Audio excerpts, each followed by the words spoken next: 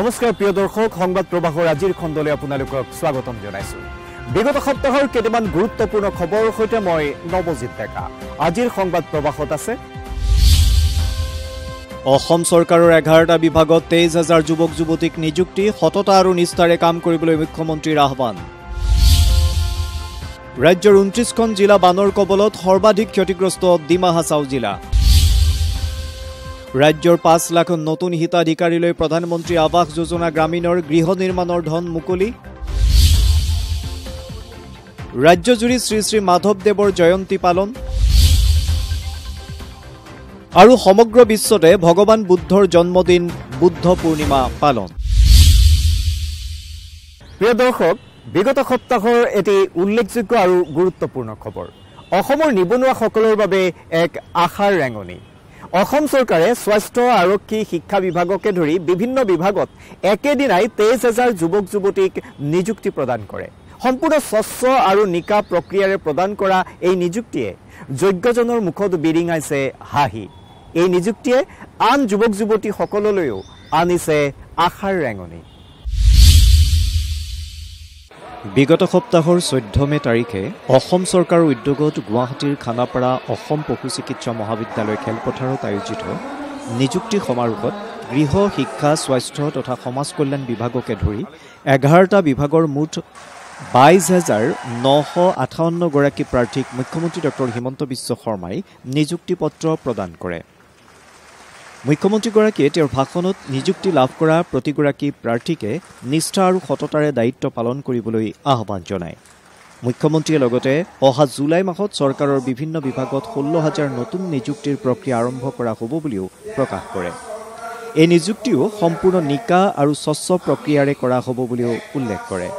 অনুষ্ঠানত কেইবাগৰাকীও বিভাগীয় মন্ত্ৰী আৰু শীৰ্ষ বিষয়াই অংশগ্ৰহণ কৰে আমি ব্যৱস্থা কৰি দিম আজি আমি অত্যন্ত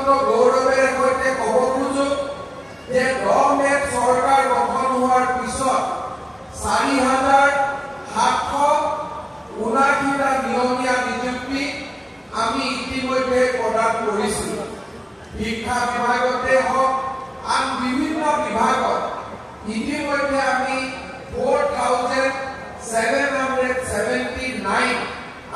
এপইণ্টমেণ্ট আজিৰ দিনটো আমাৰ বাবে এনেকুৱা এটা গৌৰৱৰ মুহূৰ্ত যে আজিৰ দিনটোত আমি বাইছ হাজাৰ নশ আঠাৱন্নজনক আজি আমি নিযুক্তি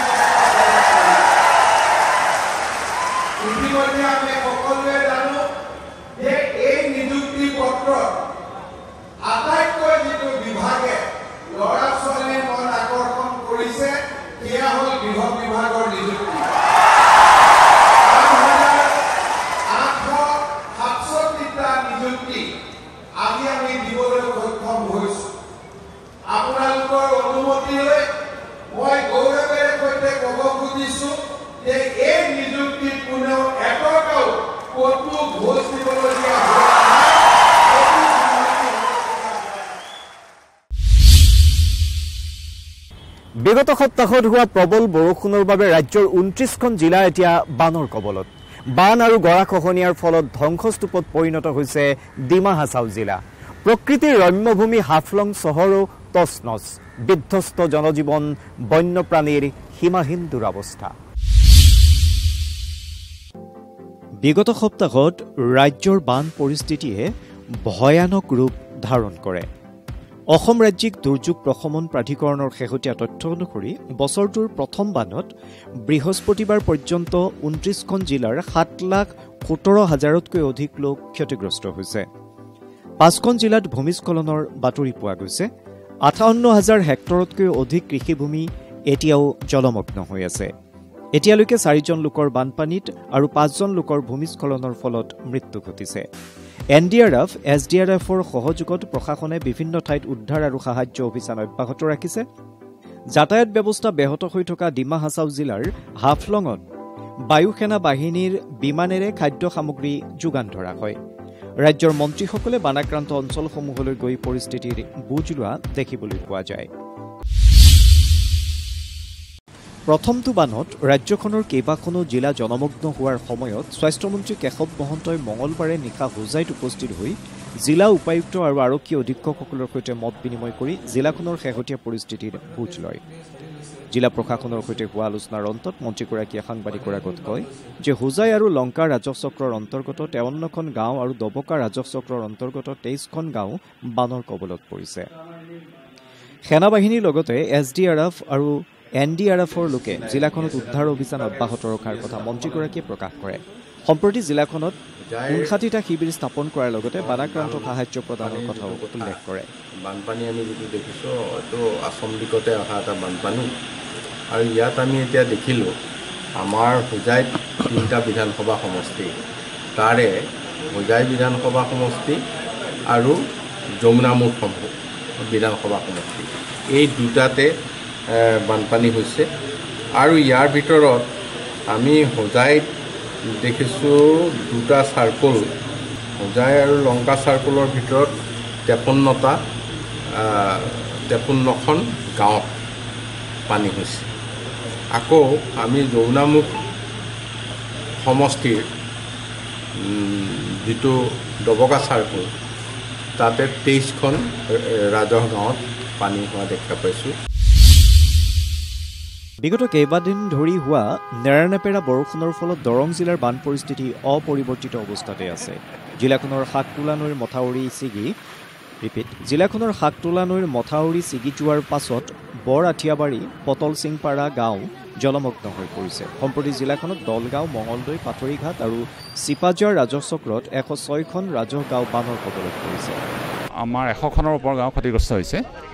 আৰু আমি সাহাৰ্য সামগ্ৰী ইতিমধ্যে বিতৰণ কৰিছোঁ আৰু এছ ডি আৰ এফৰ যোগেদি আমি যিসকল ৰাইজ তেওঁলোকৰ বাসস্থানত আবদ্ধ হৈ আছিলে তেখেতসকলক আমি উদ্ধাৰ কৰিছোঁ। অলপ ইতিমধ্যে আৰু এই উদ্ধাৰ অভিযান চলি আছে। যিবিলাক গাঁও আমাৰ ক্ষতিগ্ৰস্ত হৈছে তাত বহুত সময়ত ৰাইজ তেওঁলোক ঘৰতে থাকে। তেওঁলোক তেনেকৈ সাহাৰ্য শিবিৰ বহুতে নাহে। গতিকে আমি এটা ব্যৱস্থা কৰিছোঁ যে আমি কিছুমান ডিষ্ট্ৰিবিউশ্যন পইণ্ট আমি কৰি পেলাই তাৰ পৰা আমি সামগ্ৰীখিনি বিতৰণ কৰিম। আজি কেইবাদিনো ধৰি নেৰানেৰ পৰা বৰষুণৰ ফলত চাৰিওফালে বিস্তীৰ্ণ অঞ্চল প্লাৱিত হৈছে। আজি ৰাষ্ট্ৰীয় ঘাইপথৰ ওপৰেৰে পানী বাগৰিছে। গতিকে যাত্ৰীৰ সুৰক্ষাৰ প্ৰতি লক্ষ্য ৰাখি আমাৰ দৰং জিলাৰ মাননীয় উপায়ুক্ত মহোদয়ে এই ৰাস্তাটো সাময়িকভাৱে বন্ধ কৰি থৈছে। নেৰানেপেৰা বৰষুণৰ ফলত ন ন অঞ্চল প্লাৱিত হৈছে। বান আৰু খহনীয়াৰ ফলত ইতিমধ্যে ৰাজ্যবাসীয়ে দুৰ্ভোগ ভুগিবলগীয়া হৈছে। দৰং জিলাৰ মঙলদৈ ৰাজহ চক্ৰৰ অন্তৰ্গত বৰ আঠিয়াবাৰী গাঁৱত শাকতোলা নৈৰ মথাউৰি ভাঙি কেইবাখনো গাঁও প্লাৱিত হয়। জলসম্পদ মন্ত্ৰী পীযুষ হাজৰিকাই অঞ্চলটো পৰিদৰ্শন কৰি পানী শুকালে চিগা অংশ মেৰামতি কৰিব বুলি প্ৰতিশ্ৰুতি দিয়াৰ লগতে বানপীড়িতক সাহায্য প্ৰদান কৰিবলৈ জিলা উপায়ুক্তক নিৰ্দেশ দিয়ে। এইটোতো ছাডেনলি হোৱা মই আগৰ কৈছোঁ মই সদায় কৈ আহিছোঁ আমাৰ মথাউৰি দুই প্ৰকাৰে ভাঙে। এটা হ'ল এদিনতে ভাঙে ছাডেনলি বইলিং হোৱা বুলি কয় সেইটো আমি কৰিব নোৱাৰোঁ। কিন্তু এটা অলপ দিন লাহে লাহে ভাঙে সেইটো আমি ৰাখিব পাৰোঁ। যোৱাবাৰটো মোৰ মনত আছে যোৱাবাৰ প্ৰায় পোন্ধৰটামান মথাউৰি আমি ৰাখিছিলোঁ। এইবাৰো ক'ৰবাত ক'ৰবাত ইতিমধ্যে তেনেকৈ কাম কৰি আছোঁ। কিন্তু এইটো মথাউৰি আমি গম পোৱা নাই কালি ৰাতিলৈকে কোনোৱে আমি গম পোৱা নাই। ছাডেনলি ভাঙিছে। গতিকে এইটোত আমাৰ কৰিব লগা বিশেষ নাথাকে। কিন্তু মই এটা বস্তুত সচেতন যে মই সেইকাৰণেই লগত লগত আহিছোঁ। এইটো যেতিয়া পানী কমিব পানী কমাৰ লগত লগত জল্দি যিমান জল্দি পাৰোঁ এই গাঁতটো টেম্পৰেৰী মাৰি দিবলৈ ব্যৱস্থা কৰিম। পাৰ্মানেণ্ট কামটো কৰিব নোৱাৰোঁ। পাৰ্মানেণ্ট কাম কৰিব পাৰিম নৱেম্বৰ ডিচেম্বৰৰ পৰা।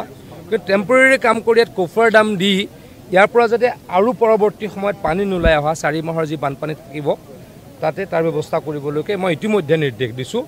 আশা ৰাখিছোঁ যদি পানী কমি যাব এক সপ্তাহ বা দহ দিনৰ ভিতৰত ইয়াতে টেম্পৰেৰী লেভেলৰ কাম আৰম্ভ কৰিম।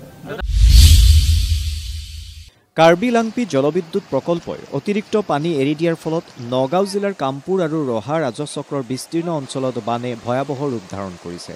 জিলাখনৰ মাজেৰে বৈ যোৱা কপিলি বৰাপানী আৰু নিশাৰী নদীৰ জলপৃষ্ঠ বৃদ্ধি পাই থকাত কেইবাখনো গাঁও জলমগ্ন হৈ পৰিছে। কামপুৰ ৰাজহ চক্ৰত নব্বৈখনকৈ গাঁও বানৰ কবলত পৰিছে।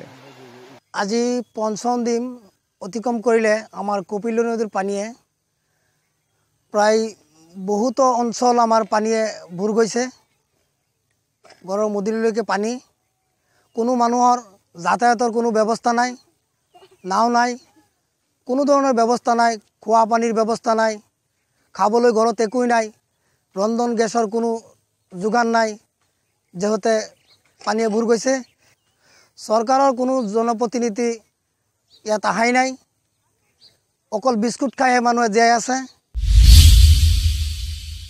অৰুণাচল প্ৰদেশৰ পৰা বৈ অহা খৰস্ৰোতা দোৰপাং দিহিৰি নদীৰ বাঢ়নি পানীয়ে লখিমপুৰ জিলাৰ নাৰায়ণপুৰৰ কেইবাখনো গাঁও জলমগ্ন কৰিছে। পোন্ধৰ নম্বৰ ৰাষ্ট্ৰীয় ঘাইপথৰ পৰা ৰঙতি সংযোগী গড়কাপ্তানী পথৰ মাগনোৱা অঞ্চলত পথৰ ওপৰেদি পানী বাগৰি যোৱাত যাতায়াত ব্যৱস্থা ব্যাহত হৈ পৰে।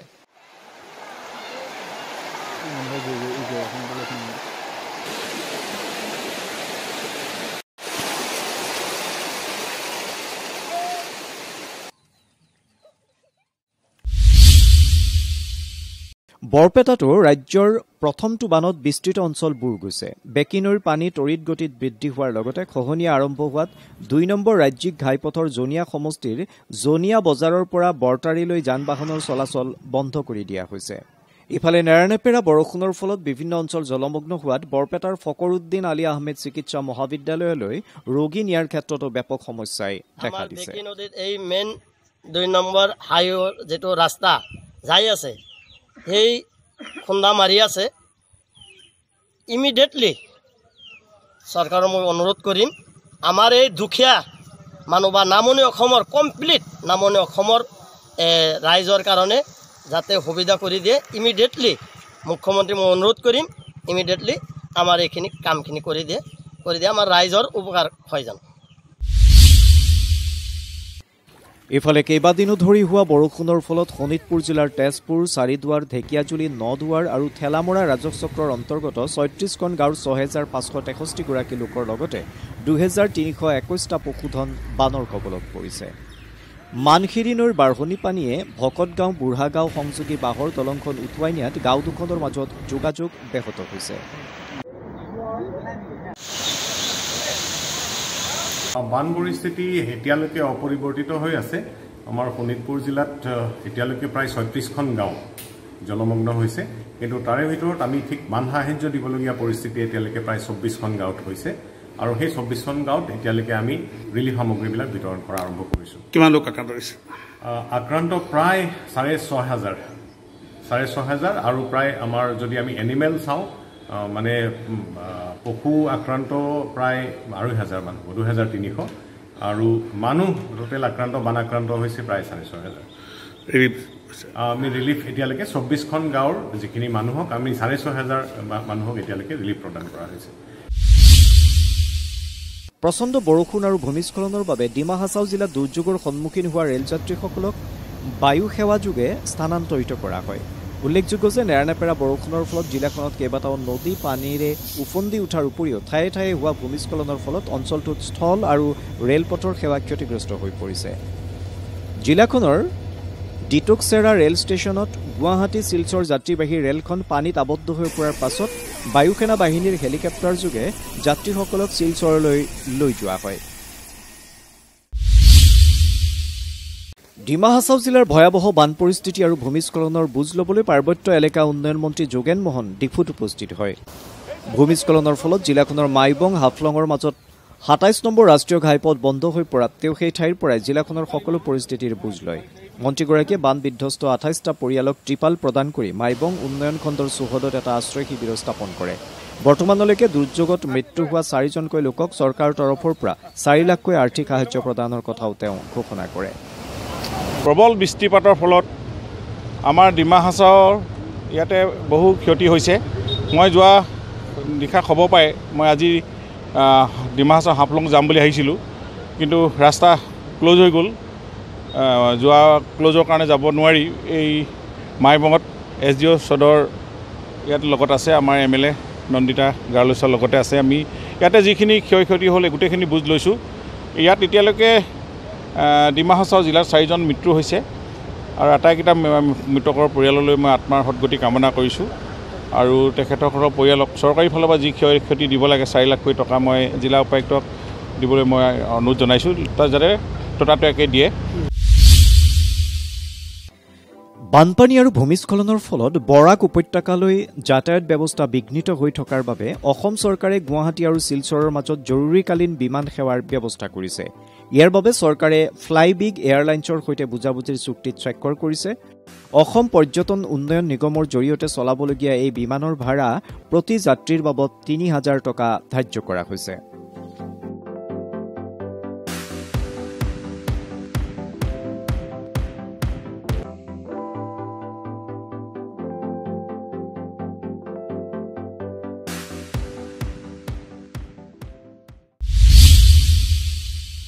প্ৰিয় দৰ্শক বিগত সপ্তাহৰ আন এক উল্লেখযোগ্য খবৰ হ'ল ৰাজ্যৰ পাঁচ লাখ নতুন হিতাধিকাৰীলৈ গৃহ নিৰ্মাণৰ বাবে সাত হাজাৰ সাতশ ঊনচল্লিছ কোটি টকা মুকলি। যোৰহাটত এই কথা ঘোষণা কৰে মুখ্যমন্ত্ৰী ডক্টৰ হিমন্ত বিশ্ব শৰ্মাই। এটি ৰেঙনি। বিগত সপ্তাহৰ বৃহস্পতিবাৰে প্ৰধানমন্ত্ৰী আৱাস যোজনা গ্ৰামীণৰ অধীনত ৰাজ্যৰ পাঁচ লাখ নতুন হিতাধিকাৰীলৈ গৃহ নিৰ্মাণৰ বাবে মুঠ সাত হাজাৰ সাতশ ঊনচল্লিছ কোটি টকা মোকলাই দিয়া হয়। যোৰহাটৰ কোৰ্ট ফিল্ডত আয়োজিত এটা অনুষ্ঠানত মুখ্যমন্ত্ৰী ডঃ হিমন্ত বিশ্ব শৰ্মাই এই ধনৰাশি আনুষ্ঠানিকভাৱে মোকলাই দিয়াৰ কথা ঘোষণা কৰে। অনুষ্ঠানত কেন্দ্ৰীয় পঞ্চায়তী ৰাজ আৰু গ্ৰামোন্নয়ন মন্ত্ৰী গিৰিৰাজ সিং ৰাজ্য চৰকাৰৰ মন্ত্ৰী ৰঞ্জিত কুমাৰ দাস সাংসদ তপন কুমাৰ গগৈ কামাখ্যা প্ৰসাদ তাছাকে ধৰি কেইবাগৰাকী বিশিষ্ট ব্যক্তি উপস্থিত থাকে। অনুষ্ঠানত মুখ্যমন্ত্ৰী ডঃ. শৰ্মাই কয় যে হিতাধিকাৰীসকলে তিনিটা কিস্তিত মুঠ এক লাখ ত্ৰিশ হাজাৰ টকাৰ উপৰিও এম জি এনৰেগাৰ অধীনত একৈশ হাজাৰ সাতশ পঁচপন্ন টকাকৈ লাভ কৰিব। আমি আবেদন জনাইছিলোঁ যে অসমৰ বাবে অতিৰিক্তকৈ বাৰ লাখ প্ৰধানমন্ত্ৰী আৱাস যোজনাৰ ঘৰ অনুমোদন কৰিব লাগে। তেখেতে আমাক বাৰ লাখ গৃহ বা বাৰ লাখ নতুন ঘৰ আমাক অনুমোদন কৰে। ইয়াৰ নিৰ্বাচনৰ প্ৰক্ৰিয়া চলি আছে। কিন্তু পাঁচ লাখ হিতাধিকাৰীক আমি ইতিমধ্যে নিৰ্বাচিত কৰিব পাৰিছিলোঁ। আজি সেই পাঁচ লাখ হিতাধিকাৰী গৃহ নিৰ্মাণৰ যিটো শুভাৰম্ভ আমি যোৰহাট জিলাৰ পৰা আৰম্ভ কৰিলোঁ। যোৰহাটত বাৰ হাজাৰ পৰিয়াল এই আঁচনিৰ জৰিয়তে উপকৃত হৈছে। আৰু কিছু পৰিয়াল উপকৃত হ'ব।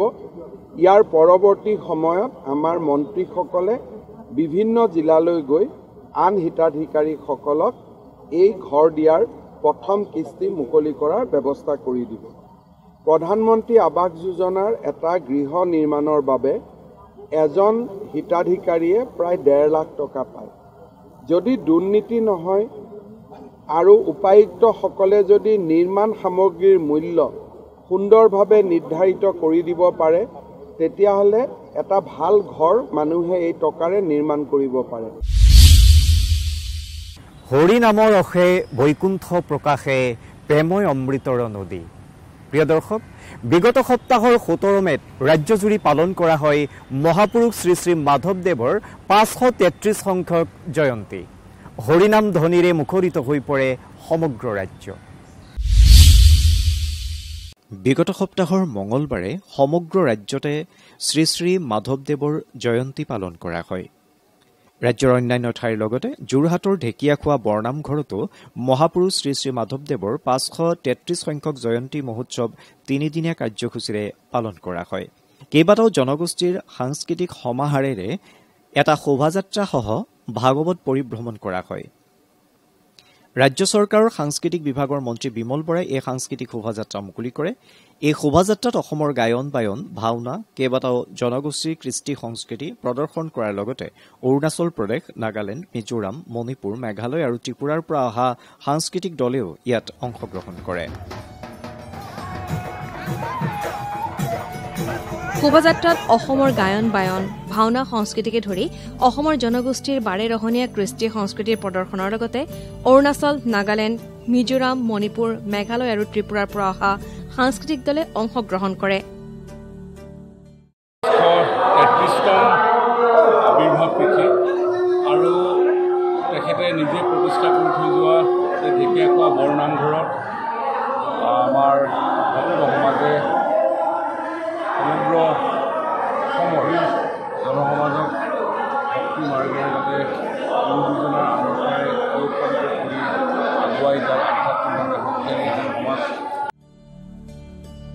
মহাপুৰুষ মাধৱদেৱৰ জন্মস্থান লেটেকু পুখুৰী আৰু শ্ৰীমন্ত শংকৰদেৱ সংঘৰ দ্বাৰা পৰিচালিত উজিৰৰ টোল ৰঙাজানত উদযাপন কৰা হৈছে গুৰুজনাৰ আৱিৰ্ভাৱ তিথি।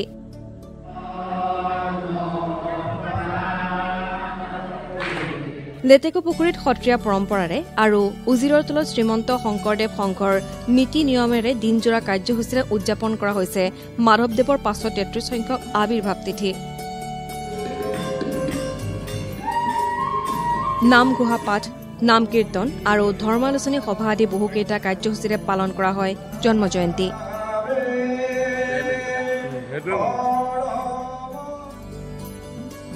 ঐতিহ্যমণ্ডিত বৰপেটা সত্ৰতো তিনিদিনীয়াকৈ আয়োজন কৰা হৈছে গুৰুজনাৰ আৱিৰ্ভাৱ তিথি। মূল কাৰ্যসূচী হিচাপে মহাপুৰুষজনে স্থাপন কৰা সত্ৰখনত নাম প্ৰসংগৰ লগতে ভাগৱত শোভাযাত্ৰা উলিওৱা হয়।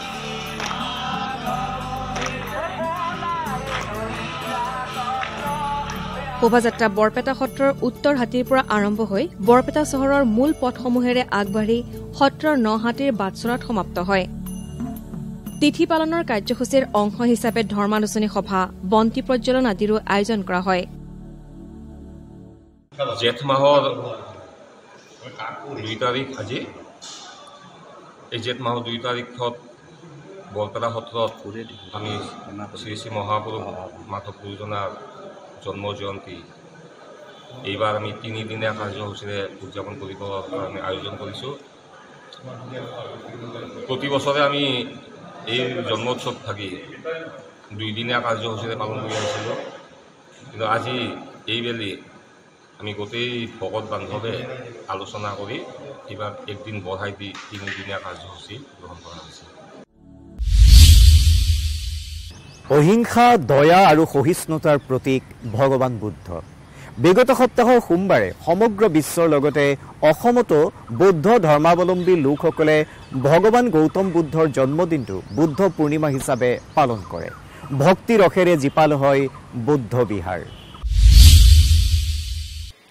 সমগ্ৰ বিশ্বৰ বৌদ্ধ ধৰ্মাৱলম্বী লোকসকলে বিগত সপ্তাহৰ সোমবাৰে বুদ্ধ পূৰ্ণিমা পালন কৰে।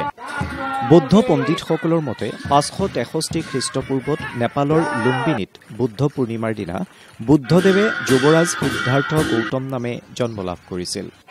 বুদ্ধদেৱৰ জন্মতিথিটোক বৈশাখী বুদ্ধ পূৰ্ণিমা অথবা ৱেশক হিচাপেও জনা যায়। সমগ্ৰ দেশৰ লগতে কামৰূপ জিলাৰ উত্তৰ গুৱাহাটী জয়গুৰুত ভূটান ৰাজ পৰিয়ালৰ বৌদ্ধ মন্দিৰত দিনজোৰা কাৰ্যসূচীৰে পৰম্পৰা অনুসৰি উদযাপিত হ'ল বুদ্ধ পূৰ্ণিমাৰ পবিত্ৰ তিথি। মানৱ কল্যাণ মহামাৰীৰ পৰিত্ৰাণ আৰু দেশৰ শ্ৰীবৃদ্ধিৰ বাবে সকলোৱে জনালে প্ৰাৰ্থনা।